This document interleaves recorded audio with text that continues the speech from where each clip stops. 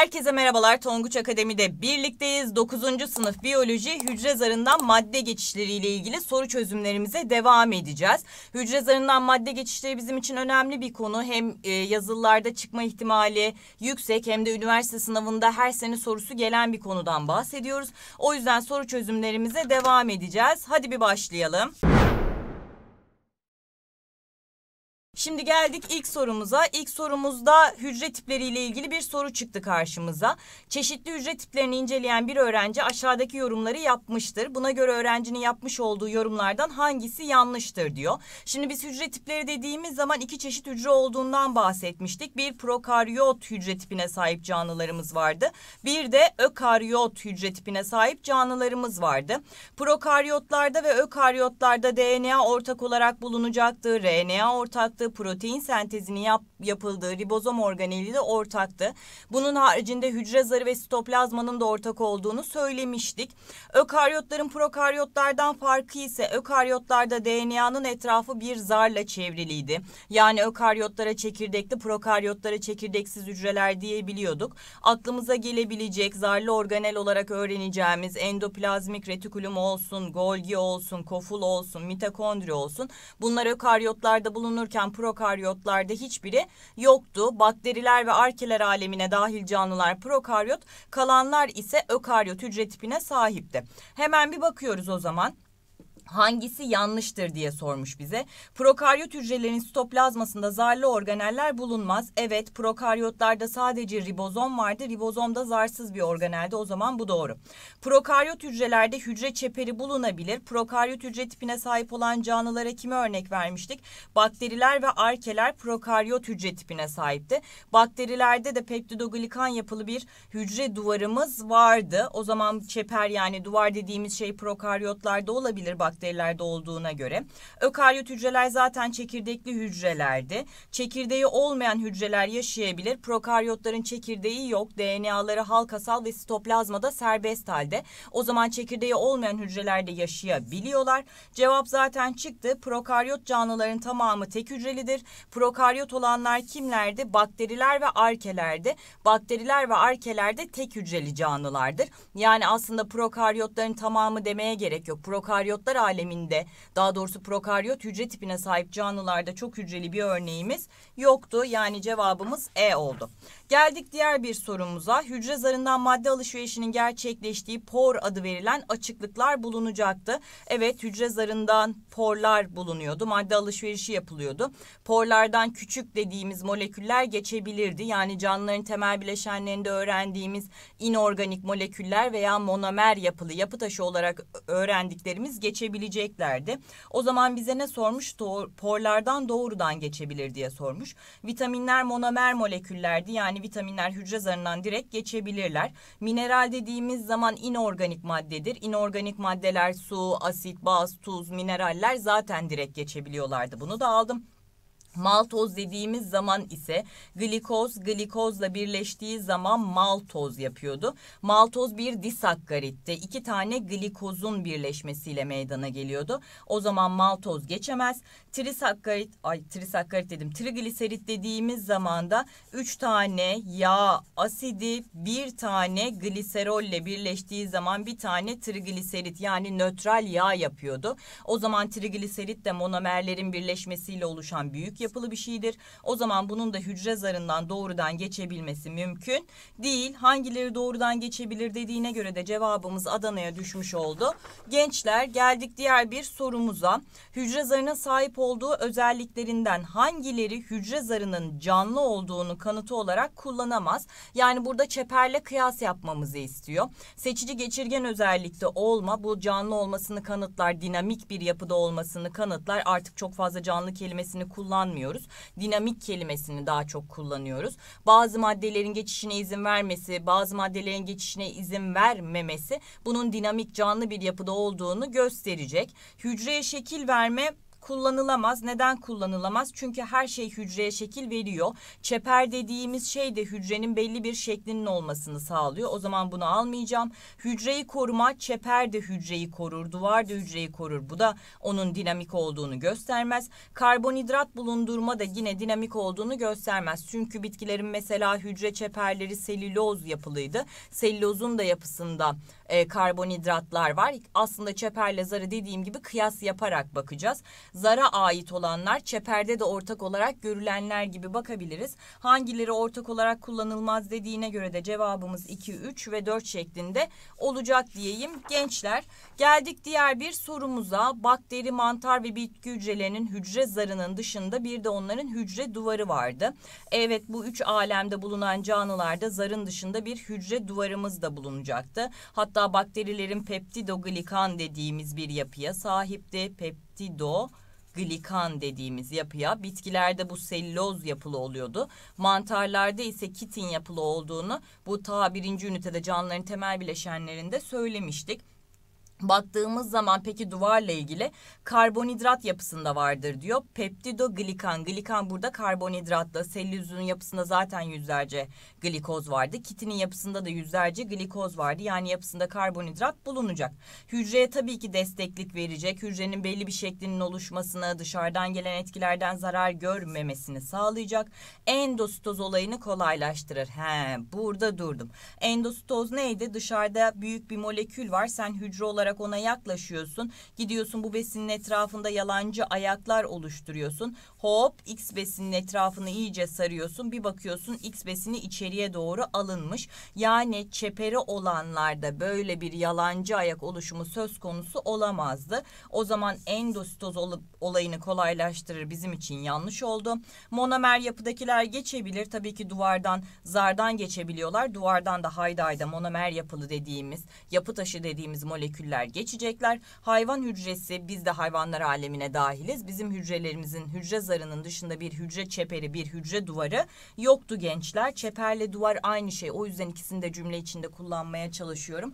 Yani soruda gördüğünüz zaman çeper Allah Allah bu ne demeyin. Çeper demek duvar demek ikisi aynı anlama geliyor. Cevabımız da Ceyhan'a düşmüş oldu.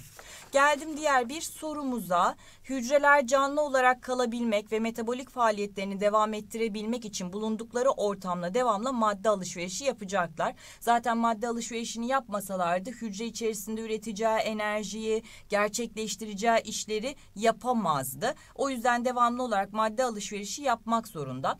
Buna göre madde alışveriş hızını taşınan maddenin durumlarından hangileri etkileyebilir? Ee, taşınma hızından bahsediyoruz.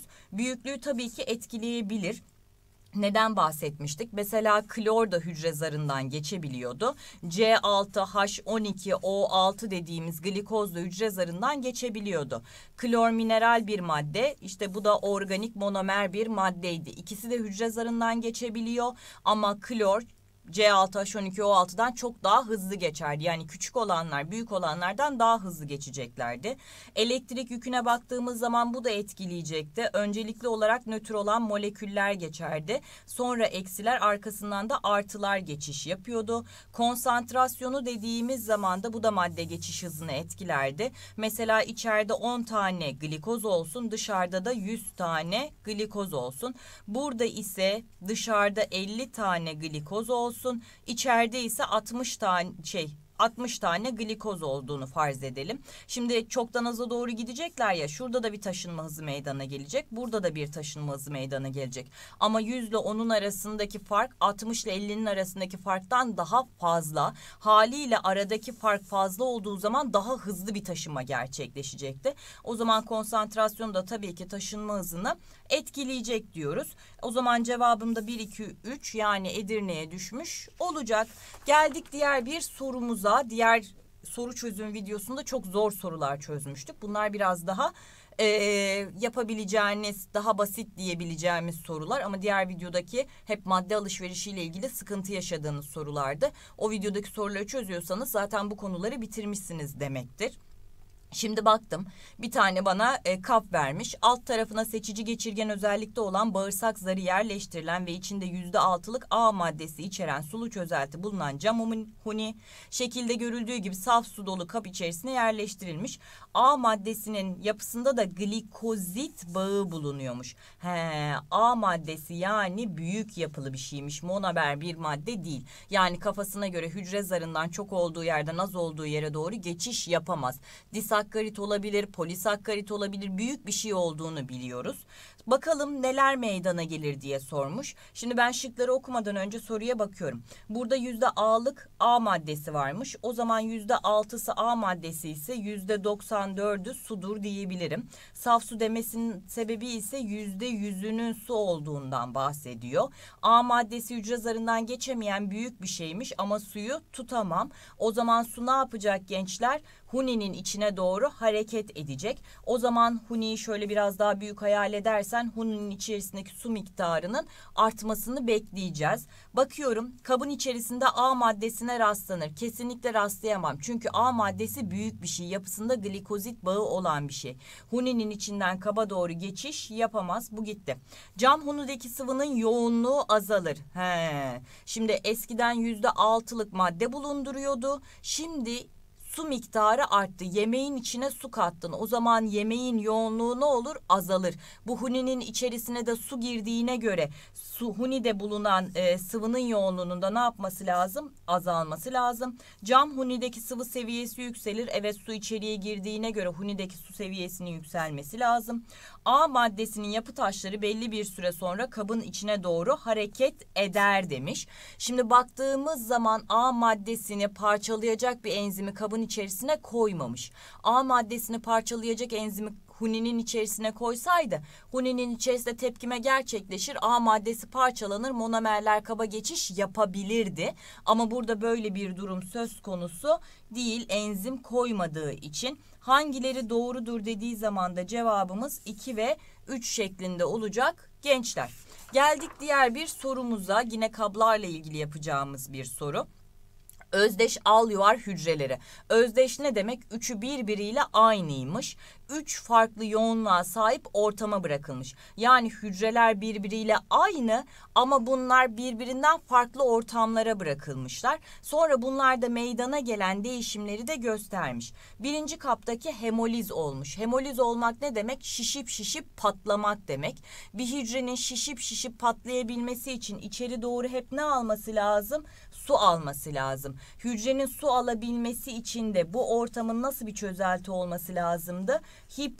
Hipotonik bir çözelti olması lazımdı. Yani çözeltinin yoğunluğu daha az olacak. Su hücrenin içine geçiş yapacak. Hücrede su alıp şişip şişip şişip patlayacak. O zaman ne olması lazım? Cevabımızın ya A ya B olması lazım. Zaten şurası ipucu verir. Ozmotik denge halinde ikinci kapta kalmışlar. Ozmotik denge halinde kaldıklarına göre madde alışverişi e, iki taraftaki yoğunluk eşit olduğu için eşit düzeyde gerçekleşmiş. Yani bu çözelti de bizim için izotonik bir çözelti olacak. Cevabımız zaten çıktı.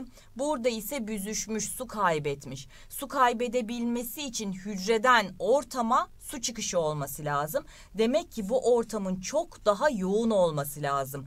Ortamdaki madde miktarı çok, su miktarı az. Hücre suyunu kaybedip ortama veriyor. Yani bu çözelti de bizim için hipertonik bir çözelti olacak diyelim gençler. Böylelikle bu sorumuzun cevabı da Bursa'ya düşmüş oldu.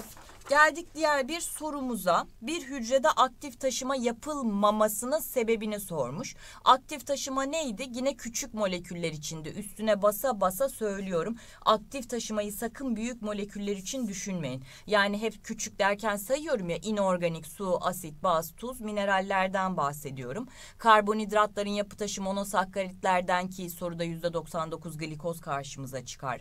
Yağların yapı taşı yağ asidi, gliserol olabilir. Bunlar küçük moleküller moleküllerdir. Proteinlerin yapı taşı amino asitler küçük moleküllerdir. Vitaminler zaten küçük moleküllerdir. Bunların taşınması aktif taşımayla gerçekleşecek. Aktif taşımada da durum neydi? Bir kere maddeyi yani o küçük olan maddeyi az olduğu yerden çok olduğu ya da az yoğun olduğu yerden çok yoğun olduğu yere doğru taşıyacaktın ve mutlaka ne yapacaktın? ATP harcama işini gerçekleştirecektin. Yani enerji harcanarak gerçekleşirdi. Hücrenin parazit bir canlıya sahip ait olması. Sakın buna düşme. Parazit bir sürü canlımız var. Mesela bit. Bite baktığın zaman hayvanlar alemine dahil çok hücreli bir canlıdır. Parazitler aktif taşıma yapamaz mı? Yapar. Niye yapamasın ki? Ee, parazit canlılarda sonuçta canlılar bunların hücrelerinde de canlılık faaliyetleri gerçekleşecek. Yani parazit olmak kesinlikle aktif taşıma yapılmasına engel değil. Hücrenin canlı olmaması. He, bak şimdi. Aktif taşımada ATP harcanıyor. Hücre canlı değilse ATP üretemez. Hücrenin canlı olmaması da tabii ki onun aktif taşıma yapmasını engelleyecektir. Bunu al, aldım. Hücrede ATP sentezlenememesi zaten ikisi aynı şeyden bahsediyor. Aktif taşımada ATP harcandığı için hücre ATP sentezleyemiyorsa aktif taşıma yapamayacak demektir. Böyle de bir baktığımız zaman 2 ve 3'ü arıyordum. Buna da dikkat edin. Hazır ben de düşmüşken size de söyleyeyim. Hangileri olamaz diyor. Biz direkt köke yoğunlaşmadığımız için, dikkatli bakmadığımız için ben cevap şıkları arasında 2-3'ü arıyordum. Diyorum ki niye cevap şıkları içerisinde 2-3 yok? Olsa hemen işaretleyip geçmiştim. Ama bize neyi soruyor? Olamazı soruyor. Olamaz dediğine göre cevabımız Adana olacak. Bazen bildiğimiz soruyu kökünü düzgün okumadığımız için yanlış yapıyoruz. Özellikle şimdi 9. sınıftayız ya. Buna dikkat edersek sonraki sınıflarda çok rahat ederiz. 12. sınıfta da bu hatalar yapılıyor ama 12. sınıfta artık sınava az bir süre kaldığı için bir de o kökle uğraşmak zorunda bir de ona dikkat vermek zorunda kalıyorsunuz. Şimdiden testleri çözerken o köklere dikkat ederseniz bunu oturtturursanız inanılmaz derecede faydasını göreceksiniz. İleriki sınıflarda da üniversite sınavında da diyeyim. Gençler Geldik diğer bir soruya. Yukarıda numaralandırılarak verilen olayların tanımlaması aşağıdaki seçenekte doğru olarak verilmiştir. Hangi seçenekte doğru olarak verilmiştir diyor. Şimdi bakıyorum. Katı bir madde varmış. Buna karşı yalancı ayak oluşturulmuş. içeriye alınmış. Yani hücre zarından geçemeyecek katı büyük bir şeyi hücrenin içerisine almışım. Hücrenin içerisine büyük bir şeyi almaya ne ismini veriyorduk? Endo sitoz adını veriyorduk. Eğer hücre içine aldığım katı büyük bir şeyse biz ona fagositoz ismini verecektik. Eğer hücre içine aldığım sıvı büyük bir şeyse ki bak burada da sıvı madde olduğunu belirtmiş. Gitmiş oraya pinositik cep yapmış. Hop sıvı şeyi içeriye almış. O zaman buna da pino sitoz dememiz gerekiyor. Burada ise içeride büyük bir şey varmış. Çünkü bunu bir koful yapmış, içinde tutmuş. Sonra bunu zara yanaştırmış. Hop dışarıya atma işini gerçekleştirmiş. Egzozdan aklımızda kalacaktı. Egzozla dumanını dışarıya veriyor ya. Bu da egzositoz olayı olacaktı. O zaman bire baktığımız zaman fagositoz olduğunu zaten söyledik. İkinin de pinositoz olduğunu söyledik cevap çıktı. Üçünde egzositoz olduğunu biliyoruz. Yani cevabımız Adana'ya düşmüş oldu. Gençler geldik diğer bir sorumuza. Yine madde alışverişi sorusu. Şimdi şuraya bağırsak zarı dediğimiz zardan ilave edilmiş. %15'lik glikoz çözeltisi bulunduran bir kaba içerisinde %15'lik sükroz çözeltisi bulunan bir huni alt kısmı bağırsak zarıyla kapatılarak yandaki şekildeki gibi daldırılıyor. He, şimdi buna baktığımız zaman da şuna dikkat edeceğiz. Sükroz dediği zaman sükroz neydi? Glikoz artı fruktozdu. Yani sükroz disakkaritti. O zaman son durumu düşündüğüm zaman kabın içerisindeki sükroz miktarı değişmez. Sükroz bir disakkarittir. Hücre zarından dışarıya çıkamaz. O zaman sükroz huninin içerisine kalmaya devam edecek.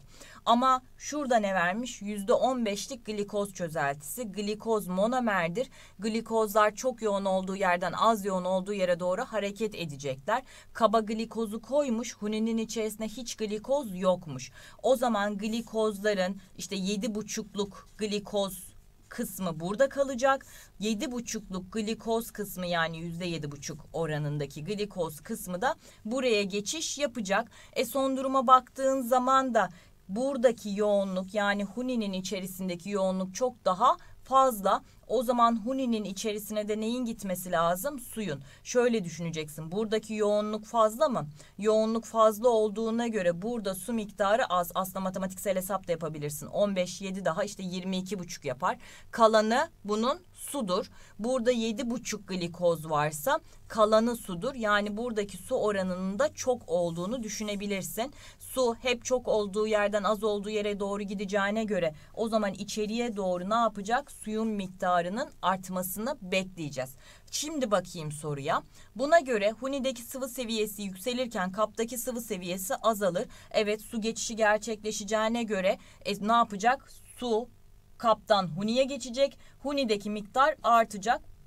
Bu doğru. Kabın yoğunluğu ile huninin yoğunluğu eşit olduğundan ortamlar arasında difüzyon gerçekleşmez. Hadi oradan. Yoğunlukları eşit. Burada %15'lik sükroz, burada %15'lik glikoz var ama maddeler eşit değil. İki tarafa da glikoz yazsaydı, iki tarafa da sükroz yazsaydı belki kabul edebilirdim. Ama mutlaka glikoz difüzyonla çok olduğu yerden az olduğu yere geçiş yapacak. Bu da bizim için gitti. Huni içinde glikoz ayırıcı olan Fehling çözeltisi damlatılırsa hem kap hem de huni içerisinde renk değişimi gözlenir. Çözeltilerin hangi çeşit olduğunu işte iyot damlattım, fehlik damlattım ne olur denmesini sizden beklemiyoruz. Çünkü bilmenize gerek yok. Sadece burada bize vermiş. Demiş ki glikoz ayırıcı olan fehlik çözeltisi ya da sadece glikoz ayırıcı da diyebilirdi. Damlatıldığı zaman renk değişimi gözlenir. Glikoz hem hunide var hem kapta var mı? Hem hunide hem kapta glikoz olduğuna göre her tarafa glikoz ayırıcı damlattığın zaman her tarafta renk değişimi görülecektir. Huni içerisinde glikoz moleküllerine, kapta sükroz moleküllerine rastlanır. Yarısı doğru, yarısı yanlış. Huni içinde glikoz moleküllerine rastlanır ama kapta sükroz moleküllerine rastlanmaz. Sükroz disakkarittir. Tekrar söylüyorum. Huni'den kaba doğru geçiş yapamayacak. Hangileri yanlıştır dediğine göre biz de yanlışları nerede bulduk? 2 ve 4'te bulduk. Cevabımız da Ceyhan'a düşmüş oldu. Gençler geldik diğer bir sorumuza. Bir paramesyum protein molekülünü dış ortamdan alıp ribozom organelinin yapısına katması sürecinde meydana gelen olaylardan bahsetmiş. Şimdi paramesyum dışarıda bir tane X proteini varmış. Dışarıda bir X proteini olduğuna göre paramesyum bu X proteinini yani büyük bir şeyi içeriye alacak. Büyük bir şeyi içeriye alması için de öncelikli olarak ne yapması lazım? Yalancı ayaklar oluşturarak buna doğru hareket etmesi lazım. Sonra ne yapacak? Bu X proteinini içeride parçalayacak, amino asitlere dönüştürecek. Sonra bu amino asitleri de kendi ribozomunda protein sentezinde kullanacak. O zaman bakıyorum proteinlerin besin kofulu oluşturularak alınması. Yani dışarıdaki proteini öncelikli olarak ne yapman lazım? Yalancı ayak oluşturarak içeriye doğru alman lazım. Zaten içeriye doğru aldığında da etrafını bir zarla çeviriyorsun ya artık o besin kofulu ismini alıyor. Öncelikli olarak ne yaptım? İçeriye doğru aldım. Sonra bu besin kofulunu yani X proteinini bulunduran kofulu kendi lizozom organelimle birleştireceğim. İkisi içerisinde parçalama yapacağım. Proteinleri parçaladım. Hop ne oldu böylelikle? Amino asitler açığa çıktı. Amino asitler sitoplazmaya dağıldı. Daha sonra bu amino asitleri kendi ribozomunda protein sentezinde kullanacak diyelim. Gençler yani sıralama yapacak olursak da 4 2 3 1 4 2 3 1 cevabımız Edirne'ye düşmüş oluyor. Geldik diğer bir sorumuza. Aşağıda akıcı mozaik zar modeli şematize edilmiştir. Hücre zarının modelini görmüştük. Hücre zarının yapısında karbonhidrat, yağ ve proteinler bulunuyordu. Hatta karbonhidratlar asla tek başına bulunamazlardı. Ya gideceklerdi proteine bağlanacaklardı ya da lipite bağlanacaklardı. Şimdi ben tek tek bir bakmaya başlayayım. Şu mor renkle gösterdiği iki sıralı bizim için ne tabakasıdır? Fosfolipid tabakası dediğimiz tabakadan bahsediyoruz. M proteinlerdir. Boydan boya da oluşabiliyorlardı. Sadece belli bir bölgede de bulunabiliyorlardı. Şurası da karbonhidratımız K ile gösterilen kime bağlanmış? Proteine bağlanmış. Karbonhidrat proteine bağlandığı zaman da glikoprotein ismini veriyorduk. Tutsaydı şöyle karbonhidratı lipite bağlamış olsaydı o zaman da glikolipid ismini vermiş olacaktık. Geldim soruma. K molekülleri zar yapısındaki miktarı ve dağılımı zara özgünlük sağlar. Şimdi glikoproteinler ve glikolipitler hücrenin özgünlüğünü sağlayan moleküllerdi. Yani bunların e, dağılımının farklı olması, sayısının farklı olması hücrelerin birbirini tanımasını sağlıyordu. Tabii ki özgünlük sağlayan moleküller bunlar. L iki katlı lipid tabakasıdır. Evet biz de fosfolipid olduğunu söyledik. Akıcı özellik gösterir. Hücre zarına demiştik ki akıcı denmesinin sebebi proteinler lipid molekülü üzerinde hareket ediyorlar. Denizdeki sandallar gibi düşünebilirsiniz. Yani lipid tabakası tabii ki hareketli bir özellik, akıcı bir özellik kazandırmış oluyor. M kanal proteinleridir ve yalnızca inorganik maddelerin geçişini sağlar. M boydan boya uzanan kanal proteinleridir. Ama bu kanal proteininden amino asit, glikoz gibi monomer maddeler de geçer. Yani aslında por dediğimiz şeyden bahsediyoruz. Sadece yalnızca inorganikler geçer diyemem. L zarda en fazla oranda bulunur diyor. Şimdi L'ye baktığımız zaman fosfolipittir. Şekil sizi aldatmasın diye üstüne basa basa konu anlatımlı videolarda söyledim. Hücre zarının yapısında bir kere ön çok protein dediğimiz molekül olacak. Sonra fosfolipitlerimiz bulunacak. Fosfolipitten sonra da en az miktarda karbonhidratlarımız bulunacak. Yani L fosfolipitler hücre zarında en fazla oranda bulunmaz şekle aldanmıyorsunuz. Hangileri doğrudur dediğine göre de biz doğru olarak nereyi bulduk? 1 ve 2 cevabımız da Ceyhan'a düşmüş oldu. Geldik diğer bir sorumuza. Bir hücreye şekilde olduğu gibi bir, birinci kapta izotonik bir ortamdayken daha sonra ayrı ayrı 2, 3, 4 ve 5 ile belirtilen kaplara bırakılıyor. Buna göre hücrenin yoğunluğundan daha yoğun olan kaplar hangi seçenekte doğru verilmiştir? Yani aslında bize demek istiyor ki hangileri hipertonik çözeltiye bırakılmıştır. Bir daha okuyayım. Buna göre hücrenin yoğunluğundan daha yoğun. Yani hücreden yoğunluğu daha fazla olması ne demek? Hipertonik çözeltiye bırakılması demek. Hipertonik çözeltide de bunlar ne yapacaktı? Su kaybedeceklerdi, büzüşeceklerdi. E şöyle bir baktığımız zaman şimdi burada izotonik ortamdaymış. İkiye baktığım zaman hücrenin büyüklüğünde hiçbir değişiklik olmamış. O zaman bu çözelti bizim için izotonik bir çözeltidir. Şuraya baktığımız zaman hücre su almış hatta şişip patlamış. Üçe numaralıya da baktığım zaman şişip patladığına göre bu çözelti bizim için su aldığı yani daha az yoğunluğa sahip olduğu hipotonik bir çözeltidir. E dörde baktığım zaman hücre kocamanmış. Burada ise hücre küçülmüş. Hücre küçüldüğüne göre su kaybetmiş demektir. O zaman bu çözelti bizim için hipertonik. Burada da küçülmüş, büzüşmüş hatta biraz daha ilerlemiş. O zaman bu çözelti de bizim için hipertonik bir çözelti olacak. Hangileri daha yoğundur, hangileri hipertoniktir dediğine göre cevabımız da 4 ve 5 oldu. Geldik ödüllü sorumuza yani videomuzu bitirmişiz. Ben de nasıl bittiğini anlamadım. Hemen ödüllü soruyu gösteriyorum. Ödüllü soruyu çözüyorsunuz. Cevaplarınızı yorum kısmına bekliyorum.